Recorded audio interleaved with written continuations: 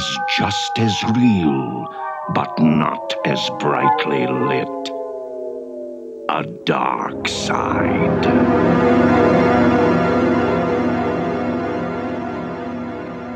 Well, here we are. Welcome to our first official Talks from the Dark Side. We're going to be talking about Tales from the Dark Side, the episodic horror show from the 80s and uh and we're gonna we have our special guest chris barr with us who's gonna be taking this journey with us because we're going through every fucking episode of this it's gonna be great i can't wait to talk about all these Uh, I have bad news. I watched Dark Side of the Rings. I thought we were doing. ah fuck Oh fuck! Wait, that's not what we're talking about?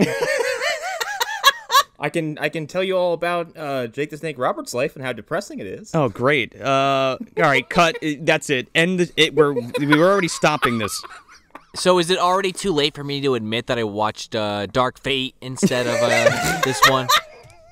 Shit. son of a bitch yeah, I watched the Transformers one getting ready for this.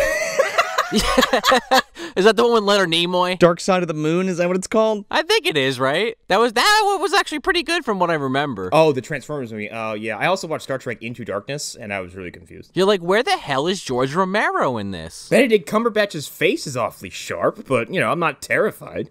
We're off to a good start. perfect just what i want to talk about fucking michael bay shit um so yeah so i want we want to just like introduce introduce chris a little bit he is a longtime friend of mine um and we've been talking about uh getting this going for a while so we figured hey let's bring it into the uh the mdu if you will and uh and get this get this going Yeah, we've been talking about this for a long time now. we've been talking this for a long time. Um, we're going to get into a little bit of history of this, uh, you know, individually and together.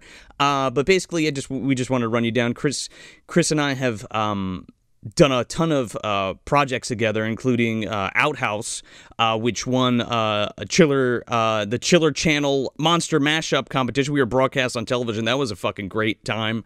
Um, and we also uh, did our Field of Screams project um, that we're working on as we speak. There's a trailer out there too. So Stop right there, asshole! and Sean, Yeah, with with Sean as a cameo as the cop in there. I actually uh I, I played uh I, I dug up uh, Outhouse at work like uh, last year, and I was like, hey yeah, check this out. uh, spoilers. There might be some type of release coming out this year at some point. So so keep your eyes peeled for that. Yeah, fingers crossed.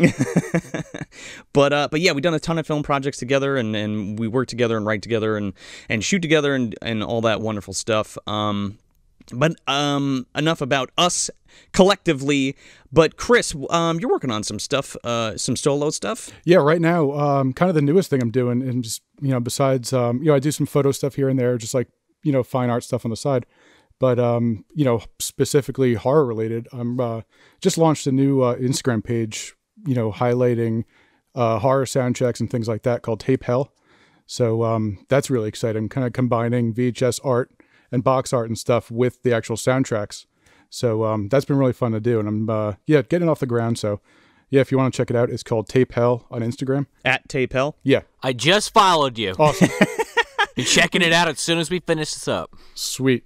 Yeah, it's, uh, yeah, just trying to get the ball rolling on that, but uh, yeah, doing a focus on soundtracks, and um, I think it'd be something fun to do. I mean, there's a whole world of them out there, so yeah, lots to pick from. Totally. And you sent you sent me some cuts uh, that you've been working on, and they're fucking great. So, Oh, thanks. um, all the best of luck with that because it's gonna be fucking sweet. Thank you, thank you. So here we are, Tales from the Dark Side.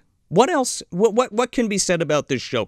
It is, for me personally, this is my go-to cozy uh, uh, sh- TV show. I've seen this entire series. I've seen every episode at least three times, and and other episodes subsequently more. But I got to tell you something. Like this was like I remember a lot of times like coming home from school. Now, I, obviously, I didn't watch it when it premiered because I wasn't even fucking born yet.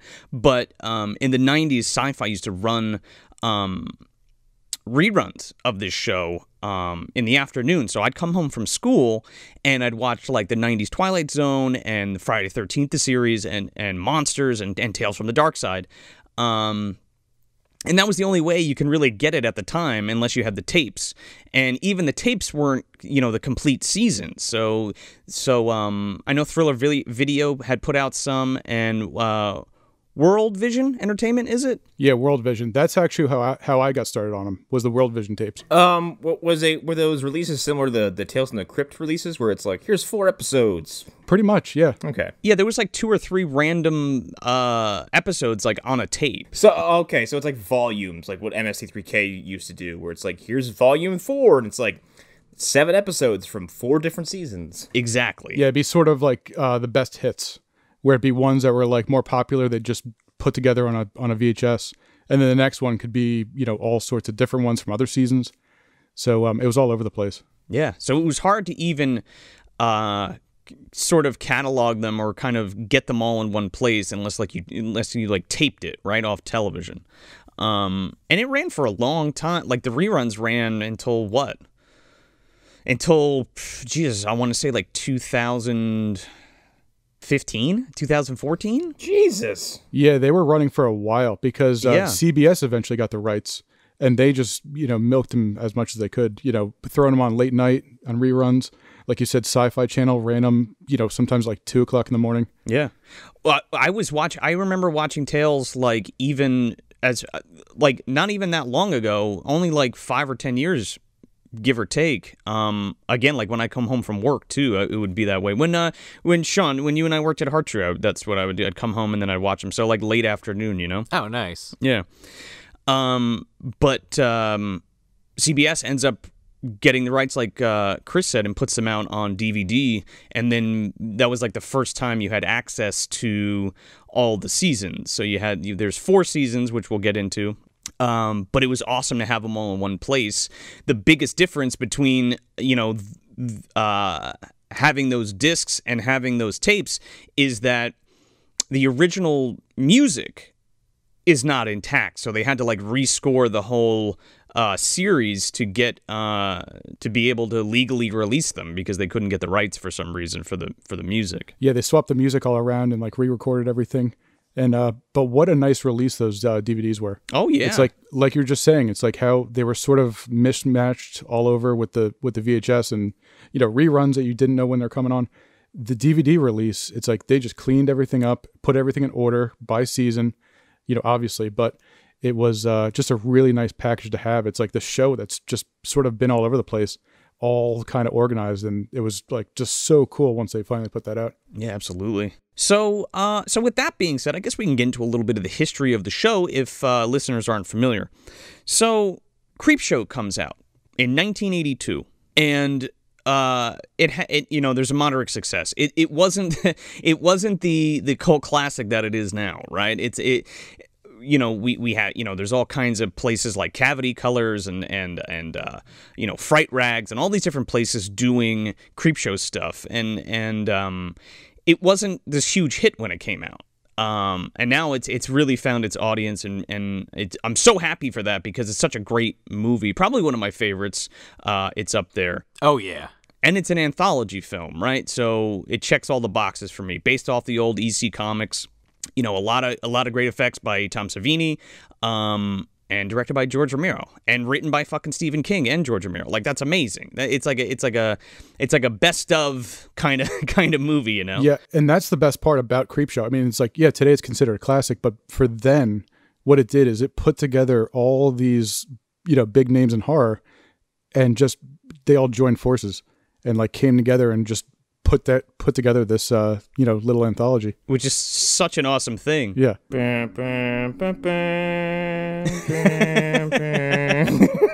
A sort sort of a EC Avengers, yeah, kind of.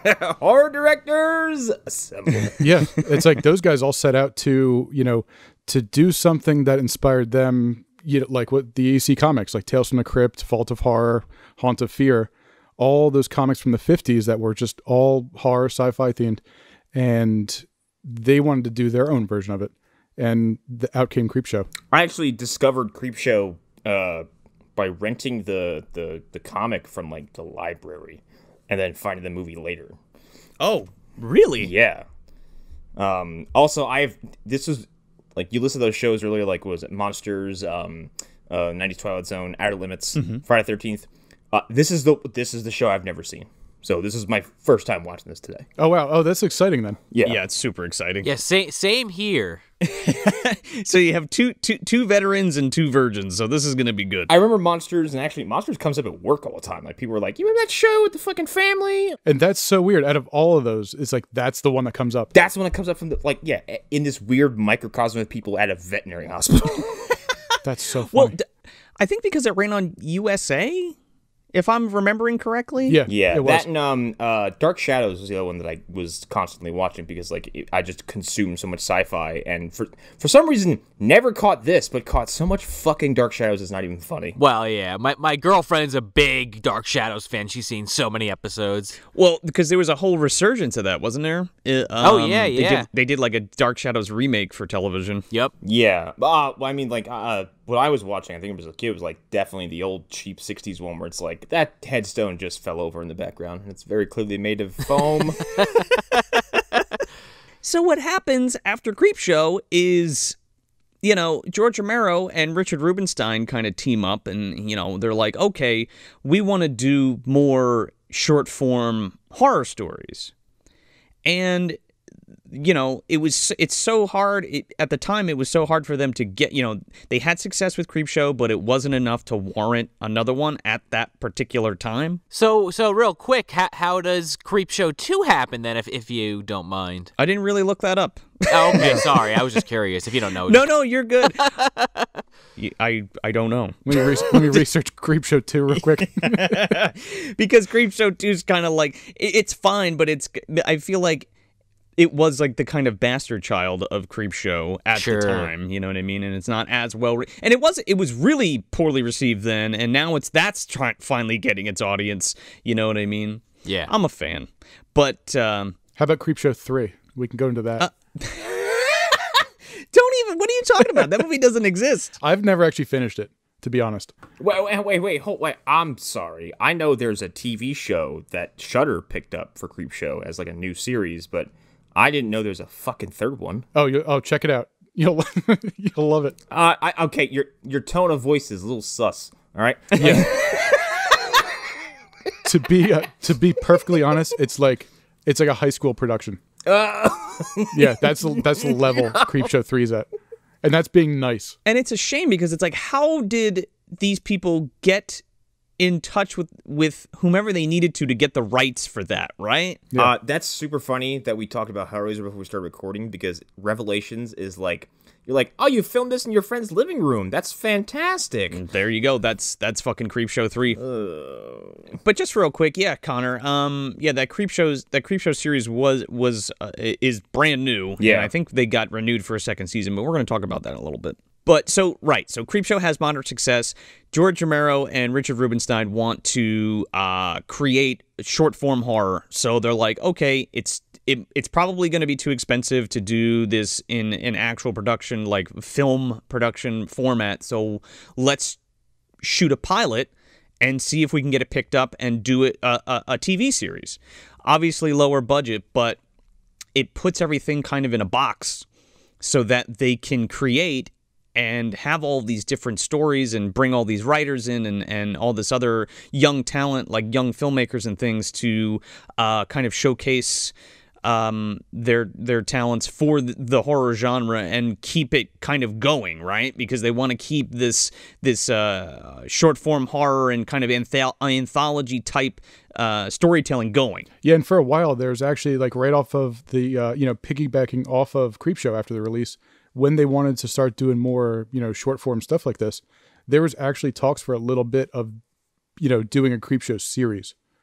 So that almost happened. It's like Tales from the Dark Side was almost Creepshow the show, Huh. which is uh pretty interesting. And I think it wasn't Creepshow the show because they again like the ret- retaining the rights. I, I I feel like it was a rights thing. No, like I feel like the production or or or, or you know the the the the company who owned the rights to the movie was like, no, we're gonna fucking not do that, and we're gonna make Creepshow two instead. So maybe that's the answer for that. Yeah, and they also wanted their own creative control too. It's like instead of, you know, doing everything under the Creepshow banner, it's like they wanted to not do specifically horror, but do some sci-fi, some drama as well.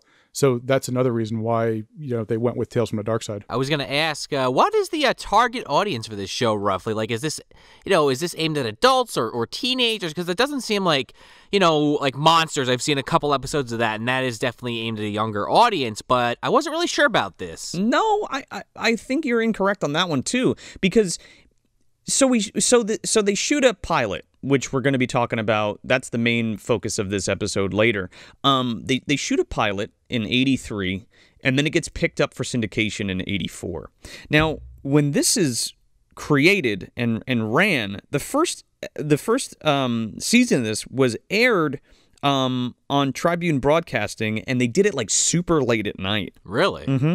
uh so it was intended f- like late night scary shit for adults Okay, cool. Or kids that were staying up late. Sure, sure. right right right you got their little they got their little portable tvs under their blankets in their beds or whatever Right. ah that's such a romantic idea that i love right Sure. in under your ghostbusters fucking blanket with your little tv watching tales from the dark side while everybody's asleep With a little bowl of popcorn under there. Oh, there you go. Yeah, a little sandwich, a little something. I don't know. Little snacks for sure. Leftover Halloween candy, probably. So yeah, the series is episodic, of course, and, and that's like the the best thing about this series, and that's why you can enjoy this kind of whenever. That's why those VHS releases work, right? Because there's you can you can present them out of order, and it's not a big deal because there's no overarching story to it. Everything is consolidated in that in those 22 to 25 minutes. Yeah, and they go for all sorts of different uh, material too. It's like even if there's uh, you know some you don't like, there's still going to be some that kind of you know uh, really get to you. And it's like there's a couple more you know ones that are a little more sci-fi, a couple more you know horror ones, but uh, it's like they sort of just shot for everything. And the, that's the beauty of having you know an a, uh, anthology series is just you get to do anything you want and cover like all sorts of bases for uh, you know all the different uh, genres and everything. Yeah, absolutely. So yeah, so they get this show. So Rubinstein and Romero get this show off the ground, and um, and again, you know, it, it's like a, it's like a rights issue with Warner, and they kind of wanted to do their own thing, like Chris said. So so what what do they do? They adapt another. They they adapt stories from like Stephen King. Um, there's a couple of episodes uh, that were written by Stephen King for this show and like people like Frederik Pohl and Harlan Ellison and even Clive Barker has has an episode, um, which we'll get to. uh, Michael Bishop, Robert fucking Bloch, not Robert, Robert Bloch, uh, John Cheever, uh, Michael McDowell, and and Fredric Brown. So. You know how like novelizations were like a big thing too. Like you always had your movie and your novelization, or or the novel, you know, the novel based on the TV or the movie. CB knows all about that. CB knows all about that. Um, like we did for Child's Play 3, where the you know we we talked about the Yeah. novelization of that. Better ending in the book. So what's crazy is Tales from the Dark Side was adapted into novelization a novelization in '88. Oh yeah, Tales from the Dark Side Volume One. Need I'd love to get my hands on one of those. Yeah, seriously. But does it have uh, corporate espionage involving a diamond heist? and then every now and then every now and then it just kind of casually cuts back to like the horror, and then it's like, hang on, never mind, never mind that shit. Back to the intrigue. So this so this series runs from 84 to 88 and there's four seasons of this show and you know they're they they really tried hard to keep it alive at the end by even shooting um, some episodes and trying to do like offshoots and things but ultimately it died however we did get a film in 1990 um, which is again it's right up there. I mean, it's r- literally directly behind Creepshow in terms of ranking uh, for me. Yeah, and there's you know when we get to that point, it's like there's so much to talk about with the movie. Yeah, we I just we just kind of want to brief you on the series history and where it goes, and we're going to be breaking all all these episodes down one at a time, and then uh, leading up to the film. It's fine. We're not talking about Smallville. I'll survive. Well, each episode's different, so you don't have to you know you know filler episodes don't exist, Yeah, don't- right? that that was the like filler episodes where I, was- I lamented the decision to cover CW TV episodically. I was like, I want to fucking push my thumbs into my eyeballs. Connor, I've already told you that I am the uh, the, the the master filler after all the fucking anime I fucking watch. just the filler, just it just it runs through my fucking veins at this point. How many episodes of One Piece are there now? Five hundred and ninety nine, or excuse no no excuse me, nine hundred and fifty nine as of this recording. Fuck no. No thanks. I can't do it. I just can't do it. You gotta do it. I need an abridged version uh, that you need to write up for me of which ones to watch. Okay. Sean's like, here's a 40 page document. I'll try to keep it under twenty. he just drops this this like very heavy stack of papers. The dossier of One Piece. Here you go. Yeah. So yeah, like we said, it, it get its initial releases by tri- uh, the Tribune Broadcasting, um, and then it gets picked up for syndication, which you know they run through they run through their production all the way to the end, and then it's picked up by LBS Communications for um, for another uh, syndication. Like they would just uh, re-air it Yeah, this thing they pass this thing all around. yeah, it's all over the place. And then it gets distributed by Lorimar-Telepictures, and then World Vision, like we discussed in the beginning, the the the VHS uh, that was released of these films or these uh, this TV series, um, picks it up, and And now CBS uh, television has it. yeah, and World Vision was like the precursor to CBS, so like World Vision turned into CBS. Yeah, which is hilarious. Yeah, that's fucking nuts. doesn't doesn't CBS also currently own Twilight Zone? Uh, yes. That's interesting. Yeah, so they're they kind of hold. Uh, yeah, they hold both of these. They have the monopoly on anthologies. We gotta break these assholes No, out. they, they gotta they gotta they gotta buy shutters so they can they can get Creep Show, and I think they have another anthology series in there too. Oh, they have uh they have Channel Zero on there, I believe, uh too. they have um, they also have Monsters as well. So they and they distributed those tapes They have them all. Yeah, they sure do. But I, you know, I think one of the lasting things that really made an impact on people when you talk about this show is the intro. Yeah, that that creepy intro. Yeah, narrated by Paul Sparer. Um, every time I wear like my Tales from the Dark Side shirt to like a con or something, s- without fail, one person, unsolicited, starts reciting the intro of the of the show. Yeah, that's what that's the part that sticks out the most. and we end up doing it together. Like they're just like, man lives in the sunlit world of what he believes to be reality. Like Paul's voice, there is something about it, and the music and the score, um, which is done by Don- Donald Rubinstein, who is uh, uh, Richard's brother, and with and all of that intro was written by George Romero, by the way. Yeah, so it's like we have like the East Coast like Charles and uh, you know the the East Coast bands with this. Yeah, there you go. exactly, You're right. more or less. Yeah, one producing, one doing the music. It's the bands. They they have a lot of shady shit going on in Oh, Italy though, which absolutely. I yeah, don't which I don't think Romero did. yeah, not totally. Without a doubt. But um again, like that's one of those things that always sticks in your head. Like even if you even if you know about the show and don't remember any of the episodes, you remember that fucking intro music and that voiceover, that narration. And even now, you know, I've seen this show a bajillion fucking times. If I'm watching this at night, like before bed or something, and it's like, and the house is completely dark and quiet, it fucking freaks me out still. Like when I watch it, I'm like, Ugh. there's something about it that really unnerves me. Yeah, the the music, the voice, it all comes together. Even the like the the visuals of it. It's nothing out there. Yeah, it's not spectacular. It's nothing special at all. It's a couple shots of farmland and uh, and a bridge. That's it. And like some trees and and and like a negative effect that turns it into like a a, a negative uh, uh, look. Yeah. You know? With that nice cheap like inverted like flip. And then that logo that comes in is fantastic. Oh yeah, but it's like these cheesy like flips and wipes and stuff, eh, but they're super effective, right? Like uh, you know, on anything else, you're like, oh, that's cheap, but for whatever reason, it just really, really works all together. And I think that's really what, you know, I know we're talking about the intro now, but that's kind of the charm of the series as a whole. It's like it is cheap, it is low budget, but it works. Oh yeah.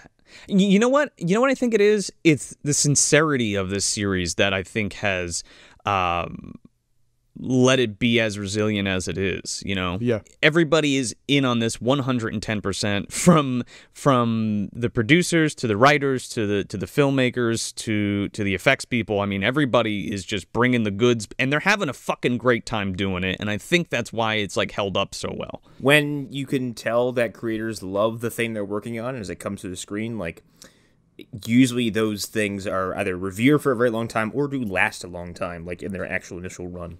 Yeah. And and again, this is a perfect example of like how budget really doesn't affect a good story, you know? They didn't have a ton of money to make the most spectacular sh- shit, but like they they used what they had and they just had really good writing and and they had talented young people behind um all of these facets and they kind of put it together the best they could and uh made a great series. So not only do we do we have that um, that main theme, but a lot of music, a lot of the original music for these episodes was was written by John Harrison, um, who is the composer of Creepshow. Oh, that kind of makes sense. I like the music a lot, and now that you mention that, I can kind of like see the uh, relation for sure. Well, here's the thing: not all of these have their original soundtracks. Oh, okay. What, what what is the issue with the soundtracks? Like, what did the person who owned it like? I I don't understand like the the how that got you know muddled. Um, I think the rights lapsed on the original music, so it's like when they were doing the DVD release, they just had to just kind of come up with new stuff. Oh, It's so weird. I, like, I like I. The only example in my head I can think of, especially for a TV show, is like one of those Dragon Ball Z dubs that came out later, where all the music was replaced and then subsequently replaced again because they were like, "You stole all of this." Oh, super, yeah, yeah, Yeah. Um. Or or Kai, or I think it was. Um, yeah, yeah, yeah, yeah. Yeah, I just I don't know too many instances where like a show comes out and they're like, yeah, all this music has to go. Well, it's like the only thing I can even think of uh, was Crazy Taxi, the uh, Dreamcast game and the arcade game. Whoa, when yeah. it, it came back out on like you know a couple of years ago on like live for PlayStation and Xbox, they lost a bunch of songs. Oh, they did that for uh, Tony Hawk too. Oh yeah, for the yeah, new yeah, uh, yeah. Tony Hawk game. Yeah, they had to just re, you know just get new songs. Yeah, and some of the uh, some of the games that like people have purchased in the past on old consoles are just missing from all marketplaces. Well, sure, that have- that's a bigger issue yeah, for they sure. have they have music in there that you can't that that wasn't licensed anymore, so you can't actually buy the game. It's so strange. And like I don't think we're ever going to get it, but I mean, fingers and toes crossed like a full restoration of this for like Blu-ray, that would be amazing. Like original film elements and like you know, new scans of that and like, you know, digitally restored audio and then the actual airing music would be fucking phenomenal. I don't think CBS is going to do that, but I hope one day that happens and that those elements are accessible. Yeah, it uh it also makes me think of I mentioned those MST3K volumes before, and uh like you could there's no way to buy a season of that show because the the like the the rights handling is such a fucking mess. Well, yeah, that too because of the movies and shit. Yeah, and in some cases, like the rights holders uh, to those movies just don't exist anymore. Like you're like, who do I talk to about this? I don't know. They're all dead. The co- yeah, or the company's completely liquidated, and it's like, who knows? You know, But you're right, Joe. It'll be interesting because I haven't seen these before. I wouldn't even know that this was not the original music until you just said that. Yeah, exactly. they did a pretty good job of matching it well enough where it feels like it's from that period.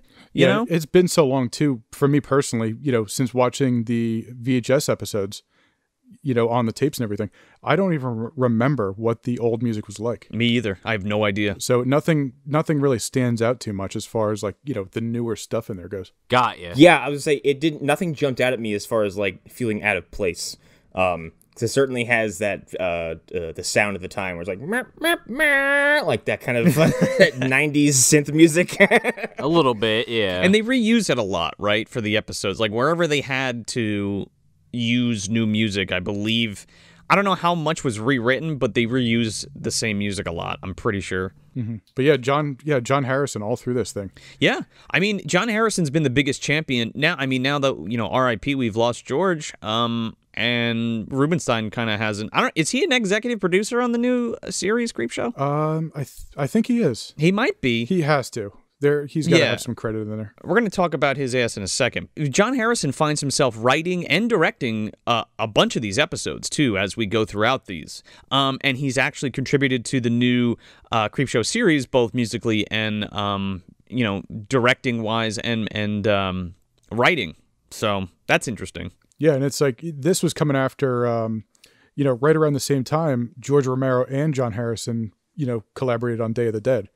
So it's like you, and that's actually my favorite part of Day of the Dead is the soundtrack. Yeah, it's really fucking good. uh, I, okay, I listen to the the full score every Halloween. Yeah, it's so good. That music is awesome because it's like it is to me it's super unconven- uh, like unconventional for a horror movie. Um, mostly because it's it's very upbeat, and at some point it just like like this is kind of catchy. I'm kind of bobbing my head to it. Yeah. It fucking Um, rules. That's also that's also my favorite of the original trilogy, uh, uh, Dead trilogy. So Oh, me too. Yeah, by far. It's um, but it's like same kind of thing we were talking about before. It's like you have you know all these names, like in this case George Romero and John Harrison, like all working together.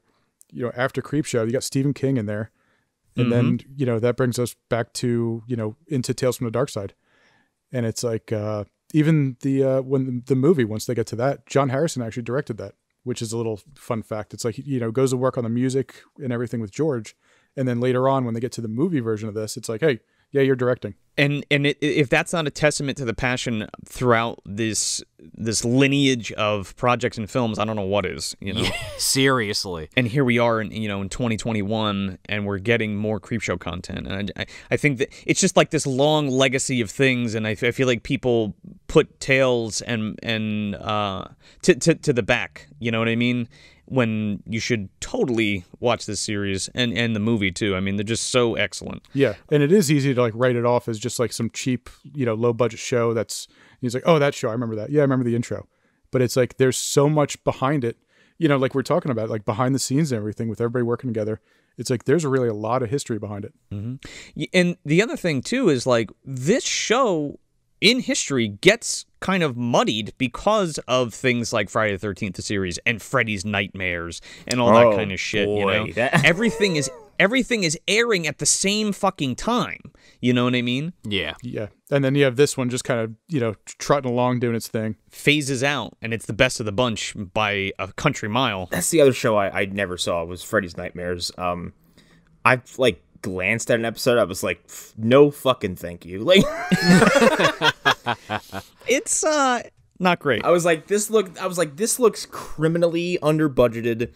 Um, and like, I, I didn't like. I think I watched I don't know ten minutes of one episode, and I, I hated the Freddy intro, and then like it just felt like daytime soap opera level TV, dressed up as a you know a Freddy themed anthology series. I was like, this sucks. Never went back. Yeah, you're not missing much. Yeah, we're not going to be talking about that one. but uh, I wanted to talk about uh, Richard Rubinstein a little, uh, a little bit. So through Laurel Entertainment, right? That was that was what his company was.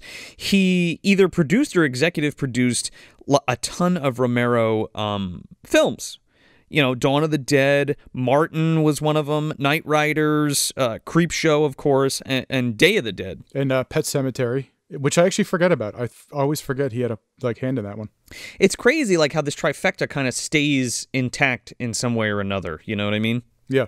And then going into uh, the 90s with him, it's like, it's not like he did a couple big things in the 70s and 80s. It's like, even now, it's like just, you know, before the episode, I was in there looking at, you know, IMDb credits and uh, he's still going. He's actually an executive producer on the uh, the new Dune. yeah Whoa. he own, he owned the fucking rights to dune and produced um, children of dune for sci-fi Oh. Oh, yeah. In uh, what, 2000? yeah Yeah. So he's still going. yeah it's just bonkers to think about that like warner that's coming out from warner brothers right Yes. Yeah. warner had to go to rubinstein and be like hey we're gonna make this new dune movie you in and he's like yes He- you know what i mean like he's still going Ah, you finally come crawling around. basically he's like the he's like the Haim saban you know what i mean uh, of this content Don't insult him like that by comparing him to Hames. I was being, I was trying to be funny, all right? But ironic, you know, he also produces Monsters, which comes directly after this because uh, Tales from the Dark Side ends up getting canceled, and and it's a whole kind of mess at the end there. But then out from the ashes rises the phoenix, you know, Monsters, which is which is another. we- We'll get there when we when we talk about it. Um, but um. But yeah, it's, it's just so crazy. Like he he's got a very rich career, and again, he's kept again just like John and even George, like he's kept in that same kind of vein throughout through this whole time. He also are so Stephen King is obviously a big part of Creepshow. I mean, he wrote all the stories. I just I just realized I forgot that Creepshow 2 wasn't even written by King. It was written by George based on King's stories. He was too, he was too busy. Yeah, Romero wrote he like adapted Stephen King's stories for Creepshow 2. He's like, fuck you. I'm doing maximum overdrive. if you need me, I'll, I'll, be, I'll be done coke in my trailer. yeah. Where's Steven? I just found a pile of uh, cough medicine and booze. but yeah, Rubinstein produces that too. So, so it's still in the pocket while this shit's going on. You know what I mean? Yeah. While Tales is going on. Chris, you, speaking of uh, things that um, Rubinstein produced in the '90s, he did a bunch of Stephen King stuff too. Um, Oh yeah, let's let's talk about the Langoliers. Yeah, please. Okay, is the is the Langoliers the one that ends with the uh the hilarious little uh uh chompy bits? Yep. yes, That that, that is my only memory of that program. Like, uh, what was it? A, sh- a movie or a sh- limited series? it was a limited series. That is the only thing I fucking remember, and it is the funniest thing I've ever seen. Like, it's so hilarious looking. Oh man, he also, but he also did the Stand, and I really like the Stand. Yeah, I also did the stand, and that's that's a little that's a little higher in, in quality. That's uh that's much better. Oh, for sure. Ha- have any of you guys watched the new one? Is that any good? Does anybody know? No, still not. I still haven't watched that yet, but I heard I heard good things. Is it out? If it's not, I know it's got to be soon. It's out, and the people I I work with are watching it, and uh, they they haven't had too many good things to say about it, and they're very beholden to the original apparently, and they they love the story in the original movie, but they're not impressed with this at all. Well, I, I think Mick Garris really kind of nailed it the first time, so I'm kind of like, all right. I mean, I guess if you want to do it, sure. Question mark. It's like kind of timely too, in some weird ways. Oh yeah, totally. Um, but he also does Thinner, and he also produces one of my favorite King. Sorry, I, What? I love Thinner so much. Oh, Thinner's It's a good flick. It's a good flick. Thinner. I don't know how we haven't done it on the main show. It's got to happen. It's got Joe Montana in it. He's coming back after this baby fucked his life up. Oh man, we'll we'll we'll we'll definitely revisit that at some point. But I also would like to visit one of my favorite uh, '90s King adaptions, which is The Night Flyer. That that movie rules. So Ooh, what is that? Oh shit! It's so fucking good. It was produced for HBO, I'm pretty sure, and it was in the pocket too of like Tales from the Crypt, which we're gonna talk about, but not yet. That's that's um that's the vampire with uh Miguel uh Ferrer, right? yeah, the vampire on the airplane. Oh my god, that sounds awesome already. oh, dude, it's so good. I remember I was a kid and like I was at a friend's house and we came across the ending of that movie where he just like goes to Well, swing don't- on don't the fucking spoil it. I vampire. don't- don't don't spoil it. Don't I'm spoil not it. saying what the ending is. I just got done saying, man, that sounds awesome. You're like, oh, I remember the end of the movie. wasn't detailing it. Um, and like for years going like, what the fuck was that movie where Miguel Ferrer is just in an airport with a vampire?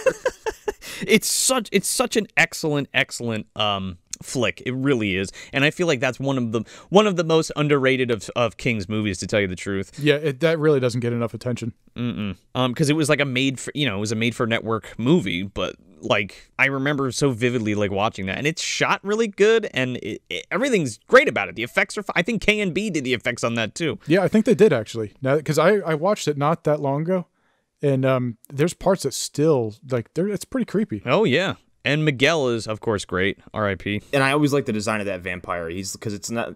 There's nothing romantic about that look. I'm like, that's just a bat with arms and legs. Like he's just hideous. He's so. It's just looking. gross. yeah. he's got like i'm pretty sure he's got like one giant tooth on the top and bottom of his mouth Yeah, and he's just got these very big, you know, ratty features up in his face, and like he has this gross hair. Yeah, yeah, but but he also from the neck down is dressed like a count. I was gonna say, but does he have like a cute, you know, bat butt like they do? You ever seen the bat butts? i guess does he have a nice ass That's in the uh, that's in the director's cut. oh, okay. The bat butt cut. Yeah, it didn't make it in the final one. release the bat butt cut the bat butt cut. Batman versus Superman. The the bat butt cut. Can we get that hashtag going? The the release the bat butt cut for Night Flyer. Oh God, Ben Affleck with Um, assless chaps. No thanks. So, uh, so in 2016, Joe Hill, who's a horror author, um, he wants to reboot this series, Oh, Joe Hill, Stephen King's son.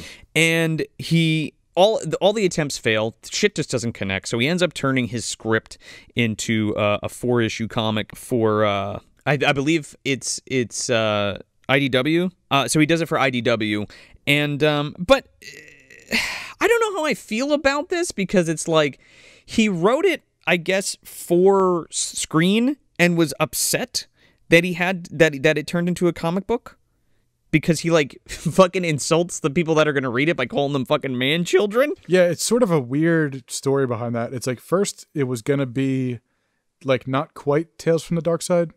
It was just gonna be called Dark Side. Yeah, And then after a while of more, you know, speculation and stuff and you know, not really anything happening on it. Then he's like, oh yeah, it's gonna be Tales from the Dark Side.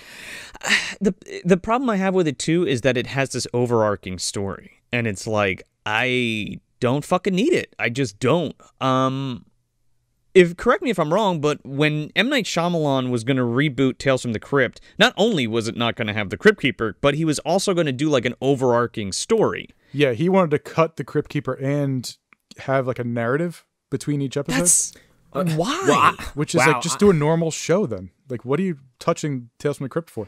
I've never been happier to to hear that that show is dead.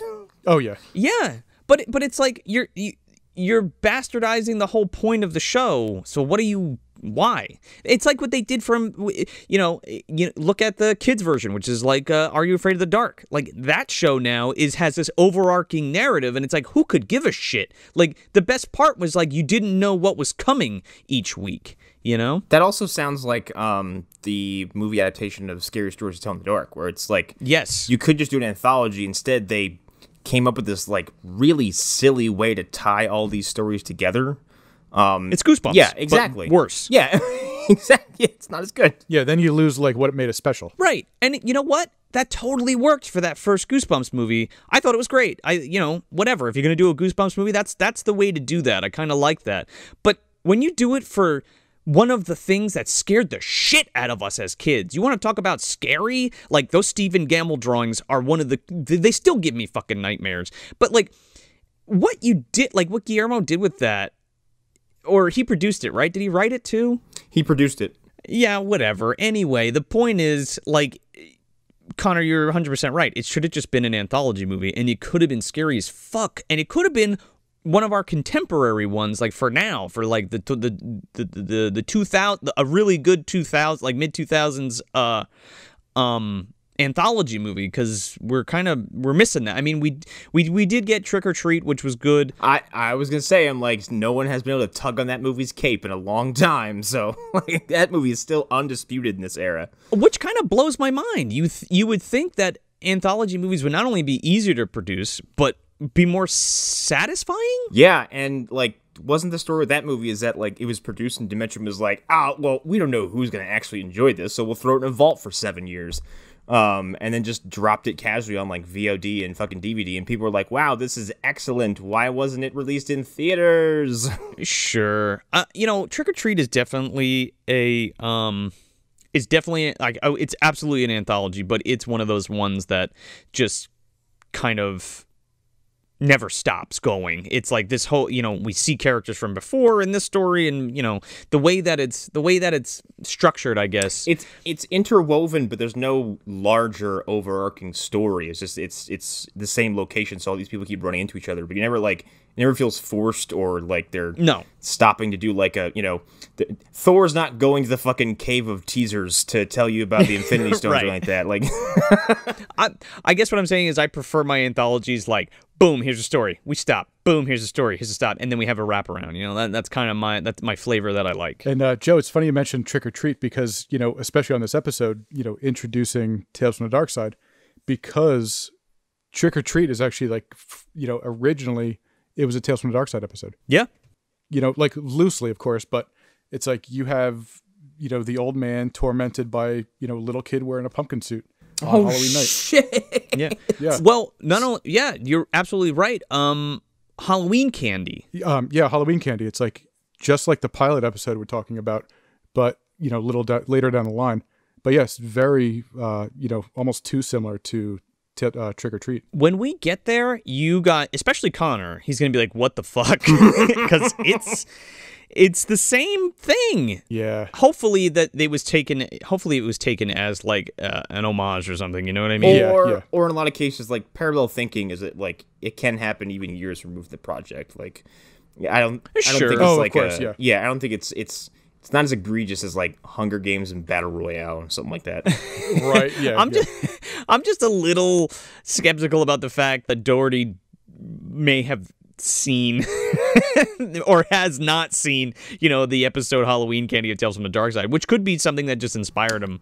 You know yeah, what I mean? am sure it's probably kicking around his brain somewhere, and he probably has this like long, you know, distant, foggy memory of something he saw on TV, and it was like, yeah, it's pretty not a bad idea. But I mean, I guess that's where I mean that's where a lot of our inspiration comes from. You know, these old TV shows and and movies and stuff, and we kind of want to recapture the way they feel and the and the way those stories are told. You know, not to make it cheap, to make it not only an honest story, but something that actually can scare you or make you laugh or you know what have you. So yeah, there's one last thing I want to mention before we before we finally finally jump into the pilot episode of this amazing series. Um, there are four unaired episodes of this series. Now, you two of them seem to be lost, and the other two are included as bonus features on the on the on the uh, season four um, discs of um, Tales from the Dark Side, the the the DVD set. So, if anybody has any information about those, I looked I looked all over the place to to see to find a name or a plot description or even like some video that somebody might have had. Somebody was claiming that they had it on an old VHS recorded off television but never followed up with some other people, so I don't know what the fuck the deal is with that.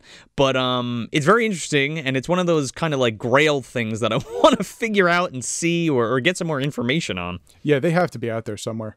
Somebody has them on a tape, just you know, sitting there. So, but can you imagine tracking those down and actually seeing those? Right? Just on some old like VHS C or some shit Yeah. like they were going to air but never did. Right, sitting in the back of some production office. Yeah. And uh, so two of them, two, I, I think they were all made to roll into a new series because they're they're happening towards the end of Tales from the Dark Side, the series life, and they want to you know reignite the series and possibly start a new one. Right, I believe one of them was called Night Rose, Chris. Yeah, Night Rose, and the other one was what was the name of it?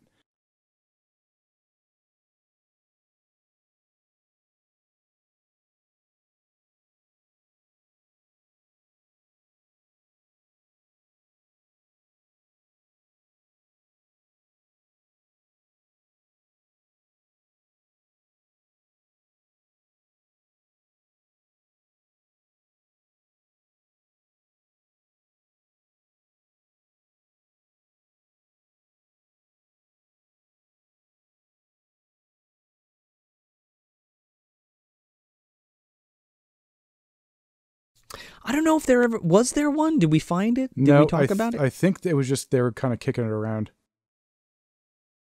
Yeah, they were trying to kick one series around, uh, which I we don't even know if there is a name, and then that other one was Night Rose. Yeah, but without further ado, it's time to talk about the pilot episode for Tales from the Dark Side. Now, uh, the episode's called Trick or Treat, and its original air date was October 29th, 1983, which is pretty fucking badass because we're, I mean, it's centralized around Halloween, so it's really cool to have a Halloween episode come out like right around Halloween. So it's almost like a Halloween special to sort of kick it off, you know? What a kickoff! Right? Yeah, right out the gate, you have a Halloween episode. Yeah.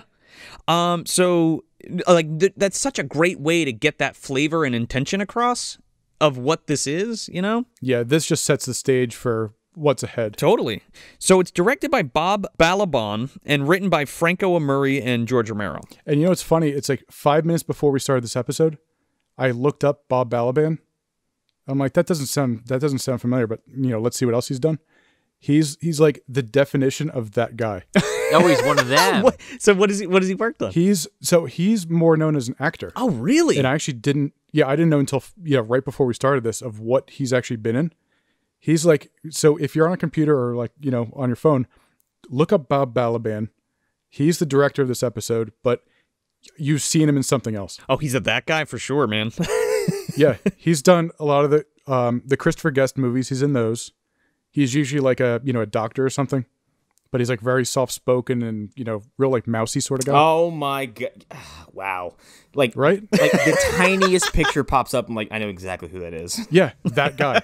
oh man, we are gonna encounter some not only familiar faces but big familiar faces. So, Chris, you want to do the honors? You want to plot crunch this? Uh, just a quick summary before we before we get into the meat and potatoes of this. Yeah, so Trick or Treat is this is our pilot episode starting the series off.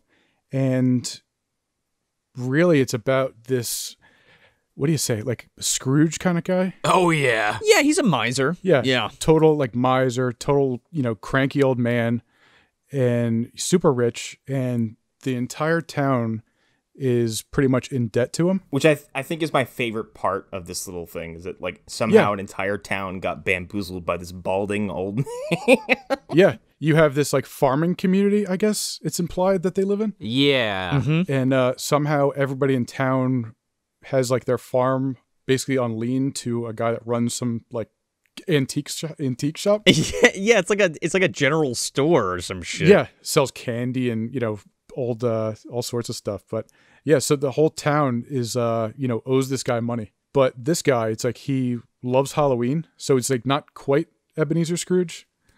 But uh, you know, instead of hating Christmas, he just loves Halloween. Yeah, so it's kind of like the anti-Scrooge kind of, well, sort of. Yeah, like the better version. Yeah. It's it's the reign of the super Scrooges. Oh God. you got you got one for Halloween, you got one for Christmas, you got one for Easter. You got one Prunes in there somewhere. Barnaby's in there. oh, he sure DC is. Comics presents Reign of the Super Scrooges. IDW, written by Joe Hill. So, so we open on uh th- th- his store, his general store, and uh, we're introduced to Barnard Hughes playing Gideon Hackles. His name, uh, once I heard what it was properly, I just giggled because uh, the word hackles refers to the hair on the back of a dog that stands up when it's pissed off. or like a cat too. which I just thought was like I'm like that's real that's a really good shitty name. Like he also has this really croaky like He talks like this the whole time. Marge with your backwards town, backwards people. Cup of coffee, four cents, fucker. Um. So he's played. So Gideon Gideon Hackles is played by Barnard Hughes, and um, if you don't know who Barnard Hughes is, he is Grandpa from The Lost Boys, and uh, he also plays Walter Gibbs in Tron. Oh shit! Uh, this man has a rich, rich, rich career, uh, acting career that spans decades. Um, and he's just fantastic. He is the shining star of this episode, uh, hands down. Oh yeah. I mean, he he Yeah. is the focus. So also in uh, in this scene, we're introduced to uh, Mr. Bindle and Mr. Bundle, who are basically, uh, you know, uh, Gideon's um, uh, tax guys. His accountants, basically. Yeah, his accountants, more or less. Not Louis Tully, though. they remind me of like like Statler and Waldorf from fucking Muppets. Like this is kind of. Yeah, they're basically real life Muppets. Yeah, Bindle and Bundle. Yeah, basically. And the way this scene is shot is like some kind of like mafia deal, like in a dark basement with a fucking light hanging over a poker table. It looks like. Yeah, he's even got his poker hat on. Yeah, yeah, yeah. We also have uh, Max Wright playing Mr. Bundle, and he's Willie Tanner from uh, Alf. Oh wow, I didn't even catch that. Yeah, the dad, right? Yeah, he's the dad. Uh, he's fucking great, man. I, I, uh, Alf's another one of my favorite series. Uh, but Max Wright's here, and we got uh, I am Hobson playing uh, Mr. Bindle, and this guy has acted in a ton of shit as well. Chris, he's in Cabin Boy as the headmaster. Uh, Cabin Boy, I love that movie. it's so good. he's also in uh, Dracula, Bram Stoker's Dracula, which I thought was interesting. holy shit. Oh yeah, Hobbs. So basically, uh, you know, they're all getting together, and, and we kind of get some insight into Gideon and like what he's about and how he's made his money, and he's just a curmudgeonal fuck. Um, and it's it's basically illustrating the fact that like he's made a ton of money but never spends any of it. He just has it for whatever. Fucking Jeff Bezos, motherfucker. Yeah, he even has that. He even has his uh, first penny framed. Yes, he does. Yeah. He's like, ah, it wasn't the uh, what does he say? He says it wasn't the inventions I made, it was the money I saved. Yeah, well, he, he's like, it wasn't my, my greatest inventions that made me the money. It's my simple ones like Right. clasps and Velcro and shit. Every now and then I dive off a diving board into a giant pool of golden coins. And children's tears. and I wait for my nephews, Huey, Dewey, and Louie, to show up.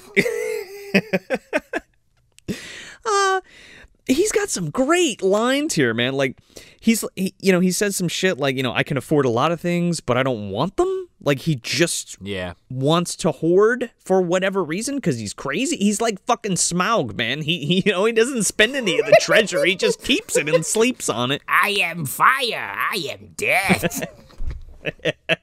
he makes some comment like, "Oh, oh yeah." Max Wright's like, "Why don't you just hire some people? Like, why the fuck?" Oh yeah, it's so dark because they they he had them drive down from New York City at three in the morning, so it didn't interrupt his business hours. It does like it, it looks super shady too. I love it because like it's just one like Sean said, it's a single light bulb just hovering over this like this table, Yeah. and like they appear to be in a black void, but just because nothing else is lit. and he doesn't have any like he doesn't have any hired help because he's like, "Oh, clerks steal shit. You know, they they steal from you, so fuck them. Yeah. I'll just work these hours." And another key thing in this scene is, you know, you made that joke about how he, you know, the guy asked for a cup of coffee and he says four cents. Mm-hmm. Uh, but the crutch of this whole, you know, scene is seeing that he has this whole stack of IOUs because he's like, ah, he's like, just write me an IOU. And he hands him this fucking, like, George Costanza wallet sized stack of IOUs. Well, he's gonna collect every penny that's due him, dude. That's his that's his mo. Right, right. Yeah, every cup of coffee. he's like, I never overcharge and I never cheat. I just take things from people. You know, I lend people money and then hold them in eternal debt. Yeah, totally honest and uh, yeah, n- super nice guy all around. exactly. He's one of the like he's he's one of the worst kinds of misers. Is like I have all this money, I won't do anything with it. Uh, I won't help my community. I'll just keep sucking off these people's lives. Well, and it's like, you know, he must spend the money he has, like, on the things he knows these people need, and that's what he stocks his general store with. He's like, yeah, I have toothpaste, dog food, uh, dirt, um, you know, hose, and uh, farming tools. Halloween costumes? Yeah, exactly. Anything you could buy in this guy's store because he knows you need it and you're fucked if you don't come to him. And uh, they, you know, they make a comment like everybody in the valley owes him money, like Chris was talking about, and like it's this sick power play that he has on this community, Oh, yeah. and it's at the expense of these people, and he does it because and he waits all fucking year, right? He he puts these people in a position, uh, like a a, a a position of jeopardy with uh, financial jeopardy, and then forces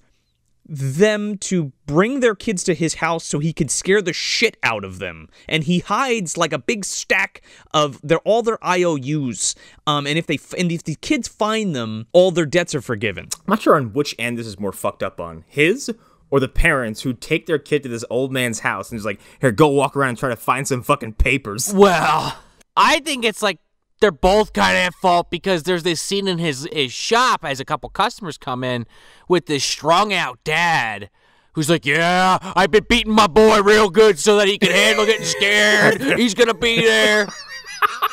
I've been putting the, the old kind of fear into him. I've been putting the strap to my boy." I think he says. Just dangle a loaded shotgun in front of his face around.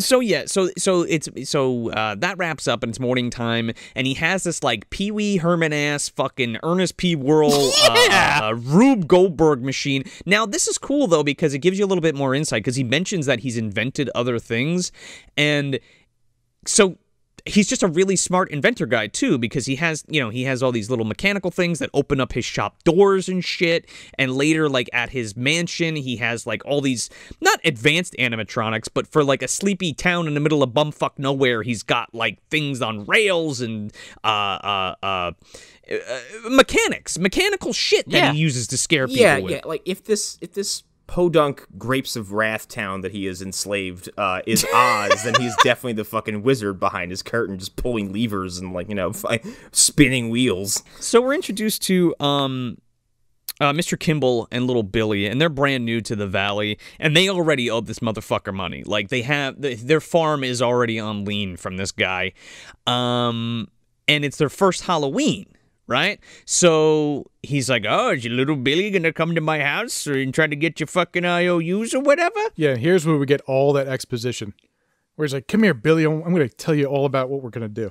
And they make it sound like really perverted at first, and you're just like, "What the fuck are these people signing their kids up for?" Yeah, he leans over, whispers in his ear. He said, "Come here, Billy." It's like, you're coming to my house tonight?" Yeah.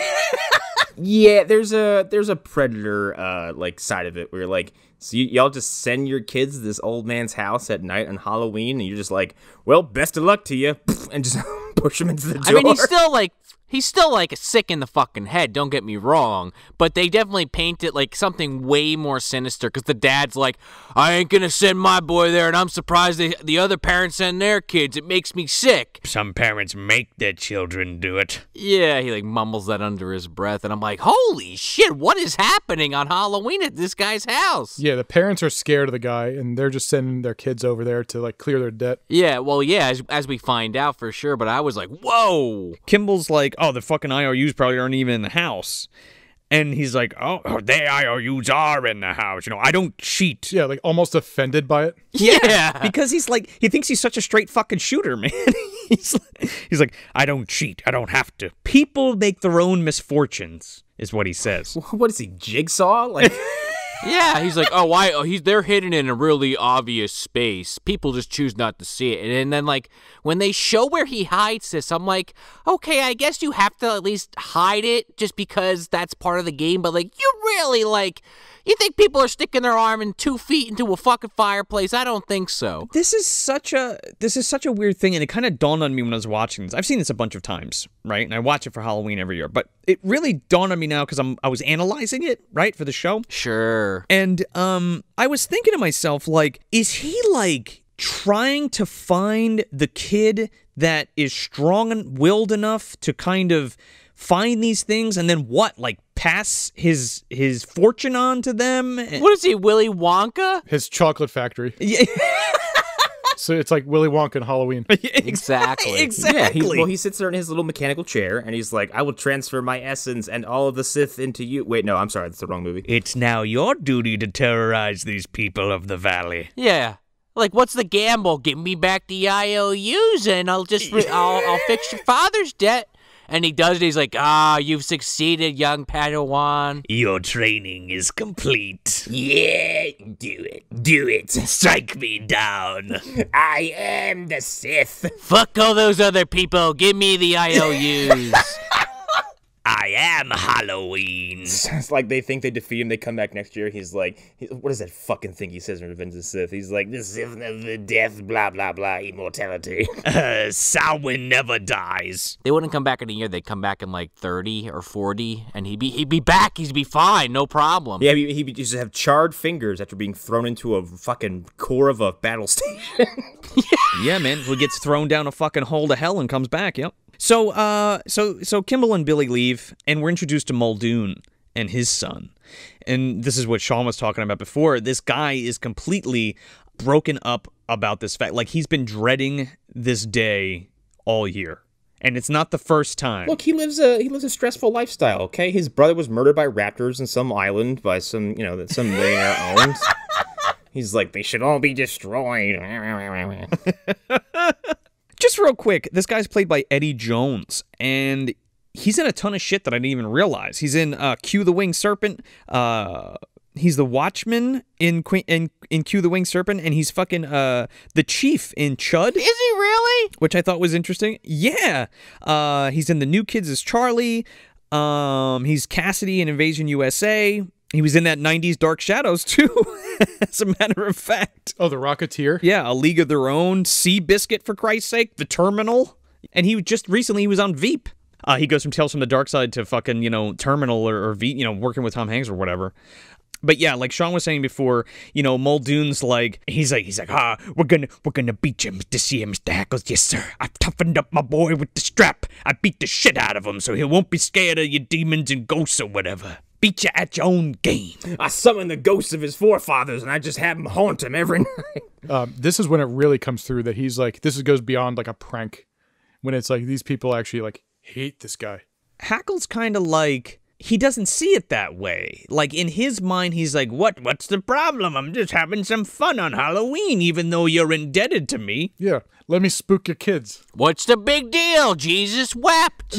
meet my meet my Cenobites that guard my house. Um, Oh no! um, uh, also, it seems like the people are maybe convinced that he has uh, like supernatural abilities, or at least can like you know can summon them because his I mean, he's got his thumb on all their necks. yeah. Um. Uh. But it seems like the fear comes from the fact that he's like, Oh, don't piss off the spirits. Sure. Especially this first little girl that we see. Because, well, he goes home first.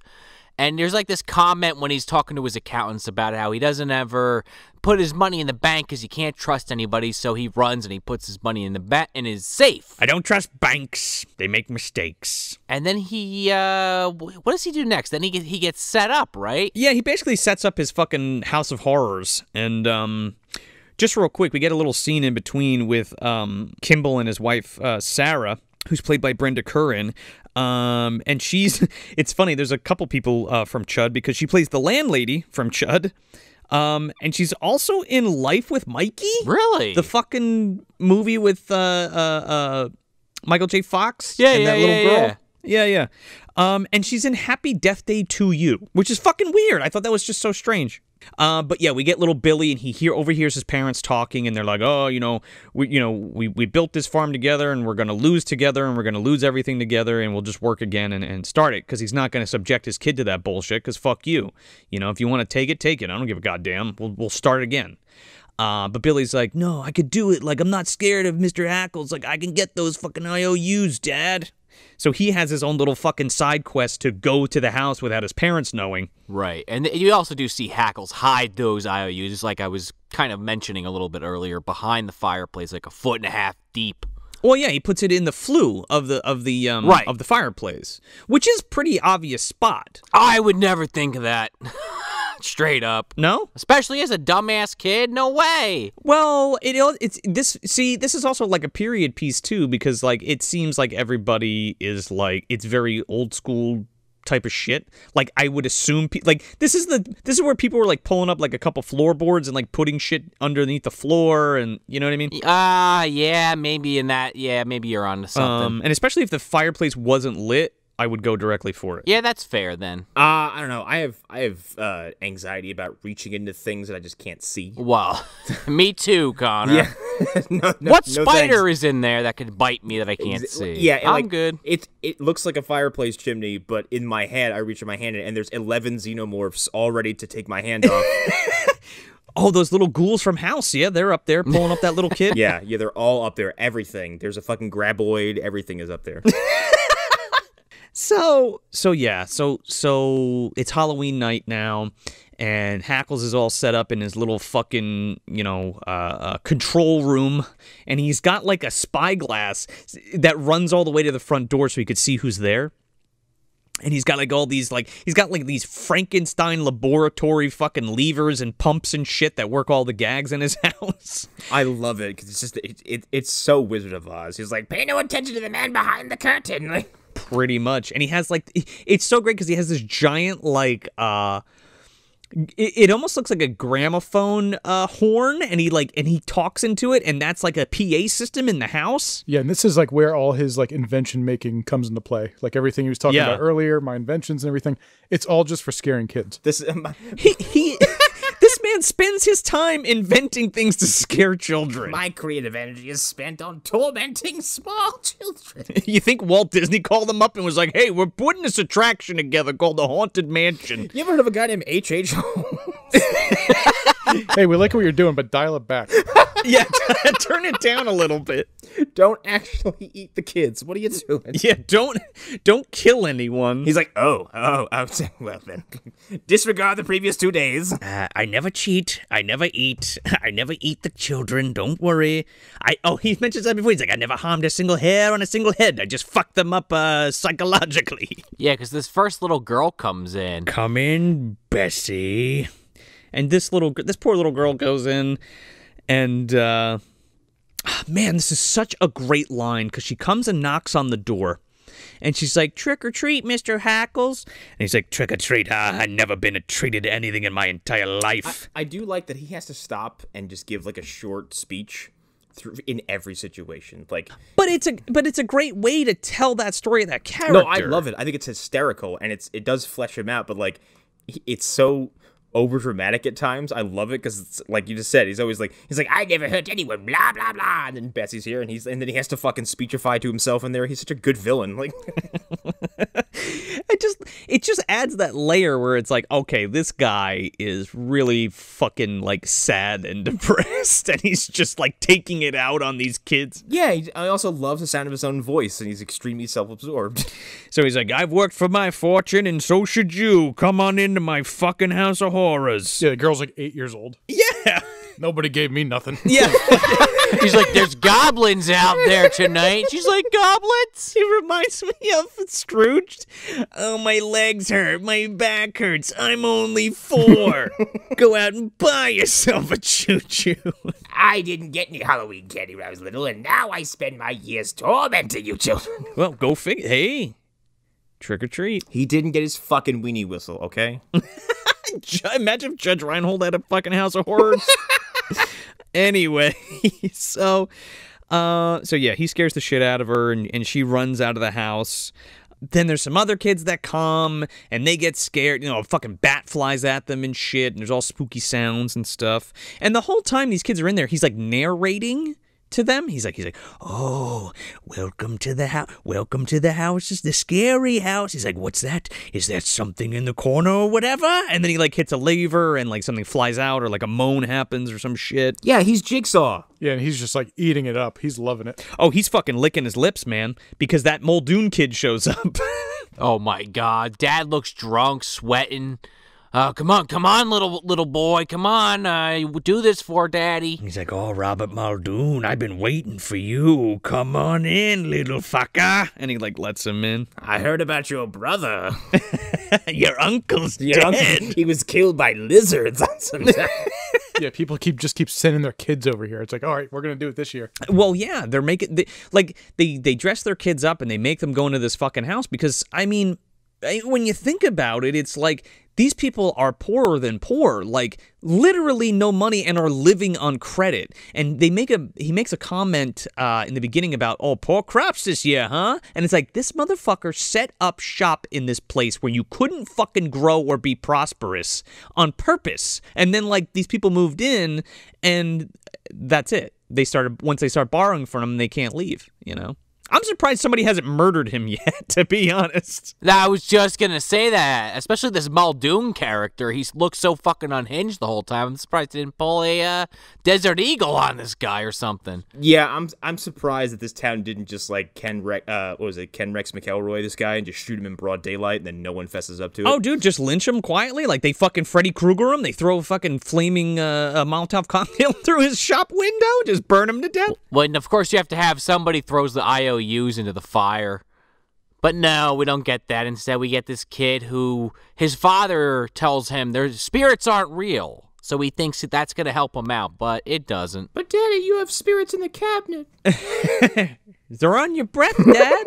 uh, but no, but like it's a whole thing too, because like he, this guy against his own will has beat his kid to scare to make his kid his kid more scared of him than he is of this house. Yeah, I mean that's what he's telling himself for sure. And he's basically like, you don't. He's yeah. He's basically like, you don't. Co- if you come out of there without those fucking IOUs, there's a th- you're in a world of hurt. You know what I'm saying? Yeah. Yeah, it gets a little dark right there. Yeah, V- v- and they do it in a way where it's subtle, but it's totally effective. You know.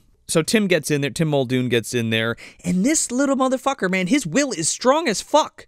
And he actually says, "Hey, look at that fireplace." And he goes up there and he reaches his hand up there, and he's like. Uh, he's like a fucking hair away from touching those IOUs and grabbing them. Yeah, he's close. Yeah, and and the whole time Hackles is like, "Oh, you're cold, you're freezing," and he's fucking pulling every lever and switch he can to scare the shit out of this kid. Um, and he finally does, uh, and distracts him, and then he walks away from the fireplace, and then you know gets scared by um the fucking bear from the Addams family. yeah. Yeah, he, well, he, he didn't get to use his ultimate weapon, which is Mr. Boogedy that he sealed off in some jar. Uh, yeah, he's in there somewhere. I was thinking that too. He's in a vacuum, dude. As a vacuum cleaner, the corner is just like ominously glowing green. We don't turn that on anymore. Leave it alone. you'll you'll let him out and he'll speak, and that will be the end of it. John Astin's fucking walking around somewhere, Babadookin, somewhere in that house. Oh, he's being dusty somewhere for sure with a fucking uh, one of those Russian hats on. So yeah, there's like the you know the scare bear pops out, Muldoon goes running, and his dad's just like, "Did you get the papers or whatever?" And they just break down. And the kid jumps in the the father's arms and they're both like crying and shit and you know, Hackles comes out to fucking revel in their, you know, them being scared or whatever. And he's just like, I, it's a backwards place, backwards town. Everybody's backwards here. They don't get it. They don't understand. And it's like, dude, you are seriously fucking warped. Yeah, they have compassion. They care about each other. What the fuck's wrong with them? Nobody hugged me when I was a kid. I never got a treat. Never. So the best parts of this series is it's always usually some scumbag motherfucker that gets his comeuppance, just like those old EC comics, right? Uh, yeah. Yeah, there's always a twist. There's always the comeuppance, and uh, yeah, the ending is always like flipped on its side. So then we get this, uh, you know, the Scrooge reference go, you know, comes full fucking circle in some ways. Uh, but maybe not in the, uh, not for the benefit of Mr. Hackles, because, uh, there's a witch at the door. I love this. Uh, that voice. Trick or treat. She's fucking creepy, man. The makeup on this is like fantastic, especially for like a TV show. Yes, and this was also where I where I finally found out that the voice clip from our Trick or Trash uh, opening was from this show. Um, there's actually two from this particular episode. yes, him saying it's Halloween, didn't you know? And then the witch cackling, I think, trick or treat, if I'm not mistaken. At the end, yeah, and the Halloween candy episode. There's a clip from that at the end uh, too. you'll you'll you'll know. Okay, I can't wait to hear that. But yeah, she's floating in the air. She's you know that you know stereotypical you know think of like Helga the Witch from Looney Tunes almost with the basically that boy with like a really like uh, grotesque face. Yeah, staring right into the door. Yeah, right into his little eyepiece, and he's like looking through. it. He's like, "Who's that? Is that Muldoon? Is that whatever?" And it's like, does that fucking look like that?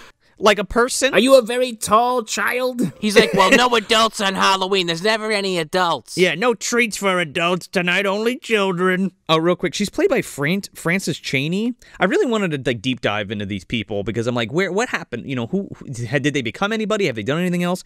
Uh, so Frances Chaney plays the witch. Um, no relation to Lon Chaney, but um, she is the ex mother-in-law of Tommy Lee Jones, Okay. Oh, that's a yeah, that is a deep dive. and she plays Mrs. Cantrell in Life with Mikey. Uh, if she has no relation to Lon Chaney, then did she shoot someone in the face while quail hunting, and that would make her related to Dick Cheney? Ah, it's possible. Oh, maybe. Maybe it's spelled the same way. So she so he finally goes to the door to confront this fucking witch and uh you know, the fucking door flies open and she's levitating on a fucking broom. Yep. And this guy's like, "Oh shit." Yeah, this is where we go like full like nightmare mode. Oh, Oh, yeah. yeah. I love this because like it's his come comeuppance is just like what what forces have come to take this man and make him pay for his crimes? Horror, just the forces of horror, everything, evil, darkness, shadow, whatever, everything. Halloween, Samhain TM has Yeah, come like, to just- make him pay. The idea of spooky has come to take this man away.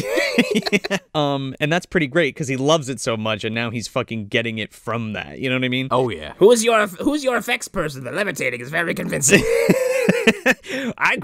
Where's your strings? So this fucking witch like levitates and and uh fucking like zaps the chimney and the IOUs fucking blow out of the chimney and they're flying all over the place and um you know the the safe opens and all this golden shit flies out and at this point he just loses his fucking mind and he shuts down. He is so terrified. He's just trying to grab these IOUs and cash and stuff, and he's just like, "Money, my money, my money, not my money, ah, my money." I love this this insane climax because it's it starts with a witch and you're like, where did you come from? And then it just, without any warning, escalates to Satan himself. Um, you're missing zombie pirate. Yeah, can't forget the pirate. Oh, I'm so. Oh, how can I forget the zombie pirate? Excuse me. Zombie pirate is in the control room, like wearing all his jewelry that was in the safe, and he's like, ha, ha, "Fuck you, Gideon." That was Gramps. He he went on a different path after uh, you know he was left in the uh, mortal realm after Charlie and the gang went back into that like western fucking dimension. I've just been walking and walking and walking. How the hell are you, Gideon? um, Gideon's like, oh no. so like you guys said, this fucking this door opens and it's literally a tunnel to hell, and Yeah. all of his money is like flying down it, and uh, he's crawling into it like chasing his money straight to hell. Uh, big metaphor.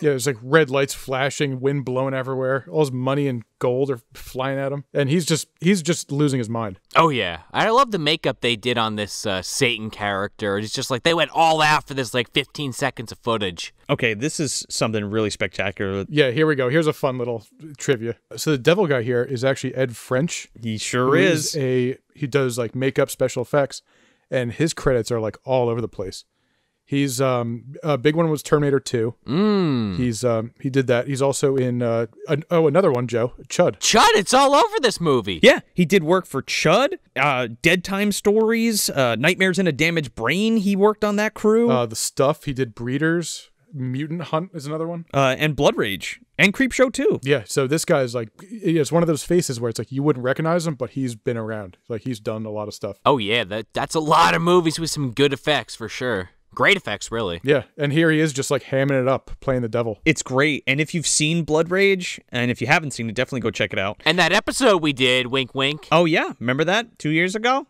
Blood Rage? Go listen to it. But no, but Ed French is actually in Blood Rage as well. And you know that do you, do you guys remember the chick who has like the baby and like brings that nerd home? Yes. The nerd is Ed French. Oh. And he's like, uh and he's like, Oh, coconut liqueur.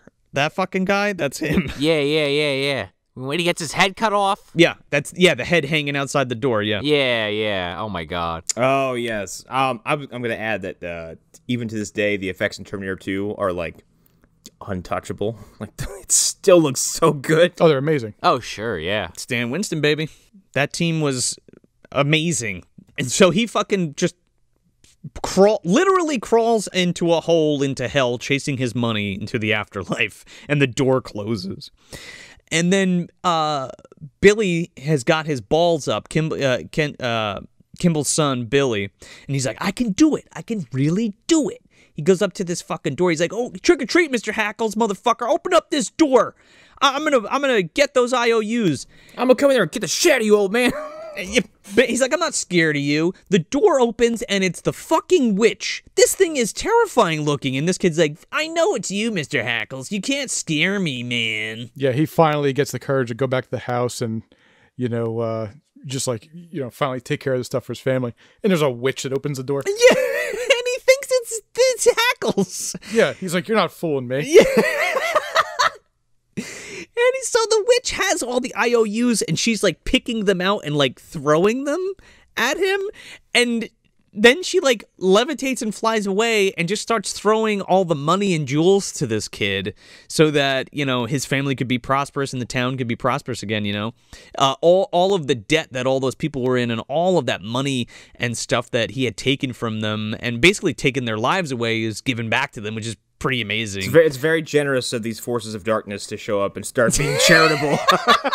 yeah They're hella nice, right? the ghost of halloween spirit this is the nicest cabal of evil people I've ever seen, or evil entities I've ever seen in my life. They show up, they drag the miser to hell, and then distribute his wealth to the citizens. Fuck yeah, come on. Well, you know, like like we saw in Petey Wheatstraw, you know, the forces of evil being used to help out uh, people in your neighborhood. So you just never know, Connor. This is true. Satan's like, I was Robin Hood my previous life. Yeah.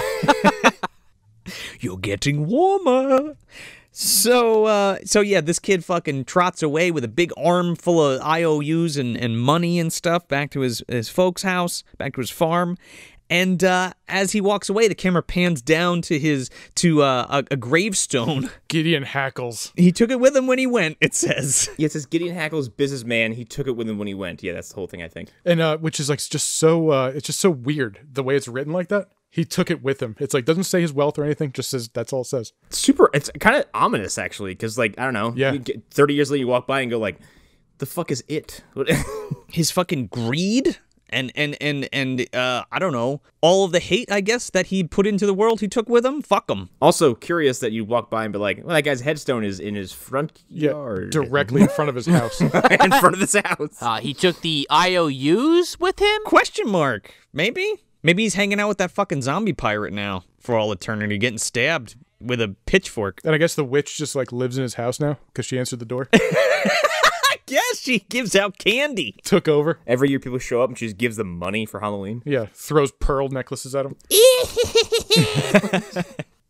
So now, uh, this is this is a brought to you by uh show so we're not going to do like where is this in the dumpster or whatever but we we i would like us to go around and kind of give our thoughts on on on each episode um so if somebody would like to start Uh, yeah. Um, it's pretty good, uh, especially in terms of like, I don't know. It just it's it's evocative of of uh, Are You Afraid of the Dark, the Goosebumps TV series, all those other anthology shows I've seen.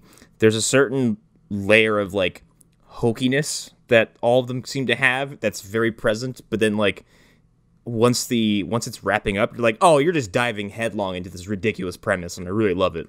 Um, and then I kind of love the ending because it's for some reason it makes me think of like something like Haunted Mansion, where it's like his headstone with this ridiculous phrase is just planted in his front yard. Um, it's such a silly concept, but I love it. Um, and I think a lot of these anthologies, like they might have dead serious episodes, they also have stuff like this that is like it's got some serious shit going there, but it's kind of like it, it's campy and wonderful. So yeah, this is pretty fun. Um, I mean, I like this quite a bit actually. I mean, I, I was poking fun a little bit at uh, as I was watching it, the randomness of the comeuppance, but uh, I was kind of pretty okay with it, especially for a 22 minute program. I'm like, you know what? They don't have enough time to explain this. It's just happening because fuck this guy, and uh, it's pretty fucking amazing. I'm looking forward to seeing the rest of the series. I. uh yeah, I, I that's also really good to say. I guess so far it's on the shelf. We'll see where it uh, goes from here. It's a nice, like, fun ride with this whole series. It's like, especially right out the gate with the pilot. It's like you have, uh, you know, starts off as a drama, and- but then we go just full blown, you know, supernatural horror right at the end, out of nowhere, like you said, Sean. Yeah, and it it, it, it fits weirdly enough. Like it works. It gels really well together. And uh, that's kind of the beauty of the series. It's like they get to do a lot of fun little, you know, uh, twists like that. And uh, that's kind of the the allure of watching more of these. It's like just to see what these weird twists are. Yeah, absolutely. And like, f- this is such a powerful pilot. Like they they kind of hit all of those hallmarks of this series in one episode, right? You get a little bit of comedy, you get a, you get some of that drama, and you get some of that supernatural horror elements to it. So it's kind of like it's kind of like a it's kind of like a best of. Um, compilation and I guess and I and, and they and they kind they fucking nailed it. I mean they they syndicated the series after this the following year. So um this particular episode in general um just from like production standpoint I think it it's really nice to look at. Like I feel like especially for this time period uh TV shows in general uh the lighting is really good and and um the cinematography is pretty good too. Some of some of the stuff they kind of do, and the effects are fucking off the charts for for a, a made for TV show, like like an episodic show, not like a um, you know an hour special or some kind of I don't know what. You know, we kind of take that kind of thing for granted now, but um, you know, I feel like this is such a good uh, first step um in in this series going like going forward um setting the tone and such um and i really like the way that this series deals with um particularly satan and the devil as we go through this series you're going to see a lot of variations of this character told from different ways which is really um interesting Yeah, there's all sorts of fun little angles. You've uh, the Devil's Advocate episode. Oh yeah. Yeah. The Devil's Advocate episode, uh, the uh, the one where uh, I don't want to spoil too much, but but yeah, but totally. There, at one point, Satan is like a like a uh, he's almost represented as like a construction worker guy. yeah, yeah, yeah, yeah. Uh, it, it's very interesting. Um, but as far as tone goes, this first this first season's uh, pr- pretty pretty serious for the most part, and and when, once we get to the next episode, we're going to see a little bit more of that drama come full full through, um, along with that supernatural kind of uh, twist, uh, what have you, Twilight Zoney kind of kind of feel. But yeah, it's a fucking banger of, of, a, of a first episode. I mean, technically, it's not the first episode. If you want to get technical, it's it's it's zero zero. You know, the pilot, whatever. But you know, it's the first episode of Tales from the Darkside. But right at the gate, have starting with a Halloween episode, it's like you're setting the stage. You're kind of you're getting everyone ready for what's ahead. Yeah, that seed that grow that grows into four seasons of content and then a fucking movie. You know what I mean? Uh, and and gives birth to all those and subsequently to like monsters again and like the Creepshow revival and all that kind of shit so it's it's it's it's ground zero and it was it's Yeah. excellent it's fantastic Yeah, and there's uh, you know the stories are all over the place, and everything sort of has that. It's like yeah, it's it's low budget, and sure you can call it cheap or whatever, but it's so comfy, and uh, and they're all just so much fun. it's so comfy. There's always there's always uh uh uh, uh, uh, uh they're almost always um, like a morality tale right?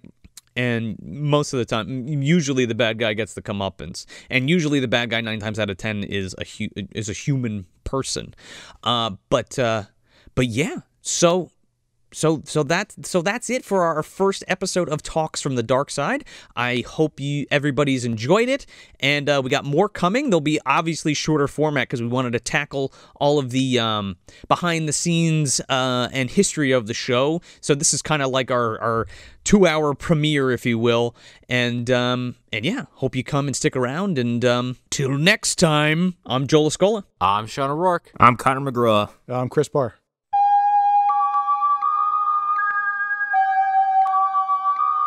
The dark side is always there, waiting for us to enter, waiting to enter us.